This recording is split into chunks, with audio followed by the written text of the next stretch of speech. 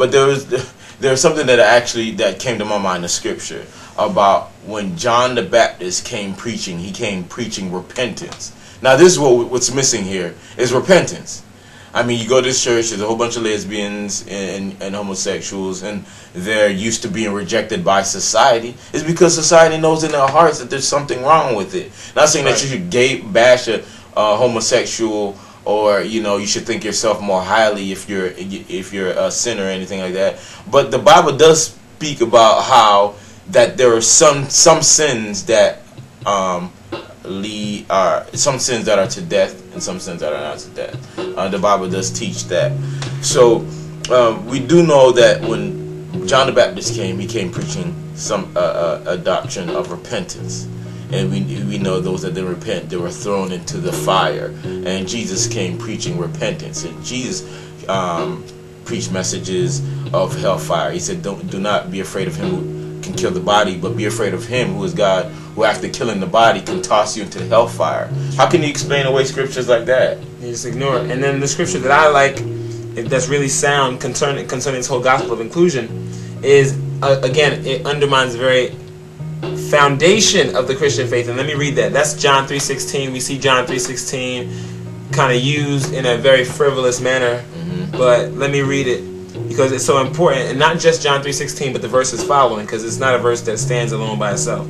It says, uh, For God so loved the world that he gave his only begotten Son, that whosoever sh- believes in him should not perish, but have everlasting life. And most of the time we stop there. But let me finish.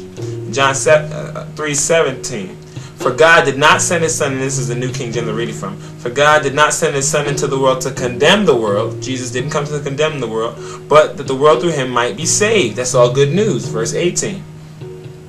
He who believes on him is not condemned. Period. If you believe on Jesus Christ, you are not condemned. If you believe, which is an act. Yes. If you believe on Jesus Christ, you're not condemned, right? Yes. Then it goes on to say, but he who does not believe, he who believes not, is condemned already. Doesn't say he's saved already. He's condemned already. Hold on. Carlton. What is it? Did you skip that scripture? Didn't read that scripture? It's right in the word. It's in the Bible. If you're, you're already condemned, he's preaching the gospel of inclusion teaches that you're already saved. It says, but it says, uh, but he who believes not is condemned already because he has not believed in the name of the only begotten Son of God. And then it says in verse 19, and I'm going to stop here. And this is the condemnation. And for those of you who don't understand what the term condemnation means, it's like a sentence of judgment, judgment, a sentence of destruction, a guilty sentence. This is the condemnation that has come into the world that loved men I'm sorry, and, and, and men loved darkness rather than light because their deeds were evil. So no, that's really like that scripture no, right there. No, no, no. that scripture totally really, debunks, yeah. and it, and that's so, that's something that's so amazing when it comes to the Word of God. It, it comes, it's a double-edged sword.